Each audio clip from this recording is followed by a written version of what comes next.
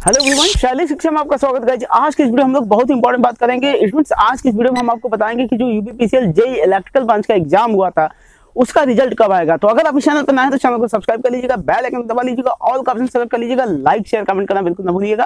तो चलिए वीडियो को आगे बढ़ाते हो सीधा मुद्दे क्या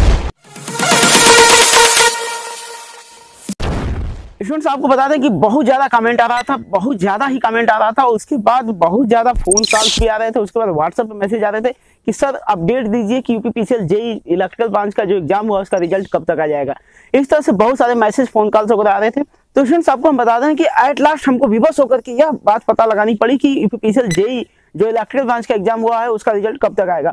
तो हमने अपने इंटरनल सोर्सेस से पता लगाया है और उनसे हम गए, आज मिले हैं और उनसे बातचीत हुई है, उनसे पूछे हैं कि सर बताइए कि यूपीसीएल जो जेई का इलेक्ट्रिकल ब्रांच का एग्ज़ाम हुआ है, उसका रिज़ल्ट कब तक आ जाएगा? तो उन्होंने हमें सारी बात बताई है, हम आपको बता दें कि यह इंटरनल सोर्सेस हमारे बहुत ही विश्वसनीय है और आप इस वीडियो को अगर देख रहे हैं तो just you have to trust at me आपको हम बता दें कि यह जो हमारे इंटरनल सोर्सेस जो हमने आपको बताया था कि देखिए आपका जो यूपीपीसीएल जेई की जो वैकेंसी है, अक्टूबर लास्ट तक आ जाएगी तो फिर वही आ गई वैकेंसी, आप जानते ही है। तो वही इंटरनल सोर्सेस है और वो डायरेक्टली बोर्ड से जुड़े हुए हैं। तो वो जो भी बताते हैं, उनकी बात पे विश्वास करना हमारा बनता है, क्योंकि वो डायरेक्टली बोर्ड से जुड़े हुए हैं। तो आपको हम बता दें कि उनके द्वारा जो जानकारी मिली है, उन्होंने बताया कि देखिए, जो आपका रिज़ल्ट का प्रोसीजर है, जो यूपीपीसीएल जे इलेक्ट्रल ब्रांच का रिज़ल्ट का प्रोसीजर है, बिल्कुल कंप्लीट हो चुका है, सब कुछ डन हो चुका है।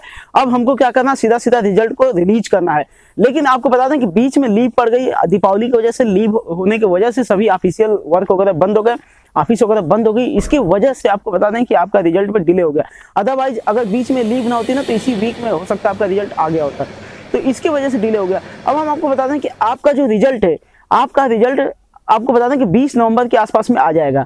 15 से 20 नवंबर के आसपास में आ जाएगा। हमको तो लग रहा है कि नेक्स्ट जो मंडे आ रहा है ना नेक्स्ट मंडे से लेकर के उसके बाद जो मंडे आएगा मतलब वन वीक के अंडर में ही आपका रिज़ल्ट हो सकता, आ जाए। लेकिन मान लीजिए बाई चांस अगर लेट भी होता है तो आपको बता दें कि 15 से 20 नवंबर के आसपास आपका रिज़ल्ट आने वाला है। तो आई होप कि आपको इस वीडियो में पता चल गया होगा कि आपका रिज़ल्ट कब तक आएगा। बहुत स्टूडेंट्स लोग ज़्यादा बेचैन थे कि रिज़ल्ट कब आएगा, बहुत ज़्यादा परेशान थे कि रिज़ल्ट कब आएगा। सर, कोई अपडेट दीजिए। तो एट लास्ट हमको जाकर के पता लगाना पड़ा तो हम गए, पता लगाए और आपको ये अपडेट दिए हैं। तो स्टूडेंट्स, आप देख लीजिएगा, पंद्रह बीस नवंबर के आसपास आपका रिज़ल्ट ज़रूर आ जाएगा। हो सकता है उसके पहले ही आ जाए, क्योंकि जो ऑफिशियल लीव था, वो अब खत्म हो चुका है मंडे से तो मंडे के बाद हो सकता है कि आपका रिज़ल्ट आ जाए। मतलब मंडे के बाद जो वीक चलेगा, उसी वीक में हो सकता है आपका रिज़ल्ट आ जाए। लेकिन मान लीजिए, अगर वन वीक लेट भी हो जाता है तो पंद्रह, बीस नवंबर आप पकड़ के बैठ जाइए, उसी के आसपास आपका रिज़ल्ट आ जाएगा। तो आई होप कि वीडियो आपको इन्फॉर्मेटिव लगी हो। अगर आप इस चैनल पर नए तो चैनल को सब्सक्राइब कर लीजिएगा बेल आइकन दबा लीजिएगा ऑल का सेलेक्ट कर लीजिएगा लाइक शेयर कमेंट करना बिल्कुल नहीं भूलिएगा।